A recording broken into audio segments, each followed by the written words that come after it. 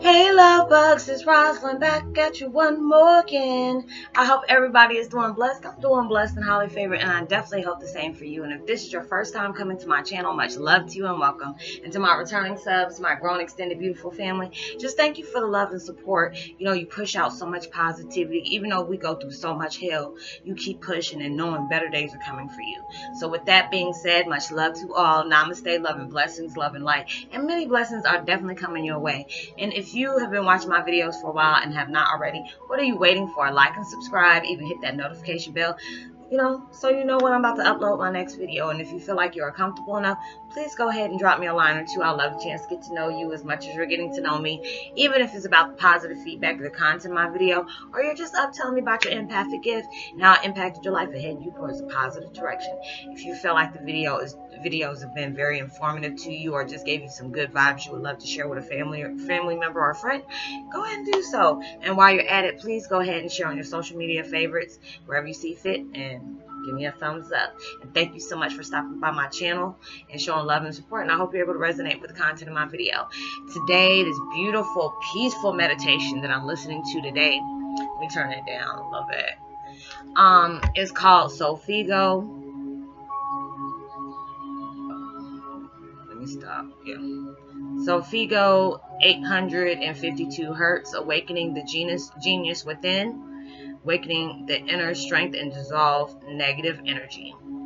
I'll post that link in the description box below. I was looking at the time. I said, I know I got to go get my daughter in a minute. But I said I can go ahead and shoot this off for a few minutes. But yeah, my video today is when the dark, don't let the darkness overrule your light. Show your light. You know, we there are so many times when you're heading towards bigger blessings, you know that there's always something that's going to come shake up the mix. You know, there's always going to be devil going to throw a monkey wrench in your program, but you cannot allow that to overpower the things that you're trying to do. You know, lately I've been getting so many comments, you know, let me know people are going through so many things. People are trying to be intimidating towards them. Um, you know, they do very uh, verbal abuse. You know, sometimes it can be physical abuse. And then that's when, you know, you have to put your foot down. You have have to step away. You know, know that you're you you got worth for yourself. You know, you don't have to deal with stuff like that. I, you know, I used to go through things like that, and even though I'm not where I want to be at, I already know what I'm not going to tolerate. You know, you can't always you can't control what people say to you, but you always control what you know how you respond to it. You can even walk away. You know, like I was telling y'all the other day. You know, I was on this uh, twin flame uh, group and on Facebook. Now, mind you, these these admins, creators, and things, you know, these people. I'm looking at these, you know, all these beautiful statements or people going through things and not really getting you know, any kind of replies back. People, you know, there'd be one or two people like or love it and wouldn't say anything. And all of a sudden, when I push out positivity, they shut down the comments saying, no, you can't talk about this and you don't have a permission to do that. I'm like, well, shoot, you're not doing your job. These people want to know, and I already know I can do that. But as soon as I said, it wasn't like I was soliciting my channel or anything like that. But if you're an empath or you're a twin flame and you're going through things and I know I can help you, you know, that's what I, that's what my intentions were. I said, well, you know, I got my own channel, you know, if you want to go ahead and check that out, or you're going through this for a reason because universe has to have you do this and this and this and that. Because you know, when you you can think a twin flame is a twin flame and end up being a false one, you know, don't don't turn your back on love. Don't make that bitter. You know, I went through hell, went through a relationship for hell for 20 years. Everything was done to me up under the sun. And, you know, it really made me look at people different, you know, and it's just like when I see people go through things and especially like celebrities and I see they can just walk away, I always get so aggravated because I say you have the power to walk away and you don't. You know, it's just like, especially if you have children in the mix. You know, I had to learn the hard way. You never want your children to ever see you go through that because they, they'll end up being with somebody like that or you know you don't want to set the example for your children saying okay this is okay to go through that. It's never okay. When you're going through a domestic violence or being in an abusive situation if you can get out please get out. You know stand your you know stand in stand in your your power, stand in your truth, walk in your truth. You know, don't make excuses for that person thinking they're going to change or, you know, if I stay for a while, they're going to do that. People change when they want to change. You know, people, when they see that you have that big light towards you and they feel like, you know, you're a threat to them, they will try to break you down in each, in any kind of way they possibly can. You don't have to deal with that You know, I mean, if it could be a boss or whatever, you can pull that boss aside. And if you got to deal with that, go to a corporate. Go over stuff like that. Or, you know, you got things that's going on with your job. You write, make sure you write them down. So when a situation pop off, you can go ahead and you got all your receipts to have it prove that. I've been through situations like that before. So it's just like when you're going through things, don't allow that darkness to creep over you because the devil never wants to see us happy.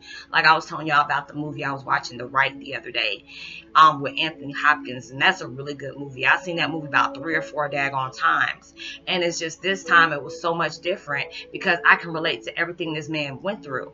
You know, he lost his mom at an early age. I didn't lose my, my mom as a child, my adopted mom as a child, but I lost her at an early age. I was like 25, 26, so I had to be that grown adult to be able to sign papers and do all these things, medical uh, decisions, and that really put a lot of pressure on me. It stressed me out because I'm just like, oh my God, I hope I'm doing the right thing for my mom.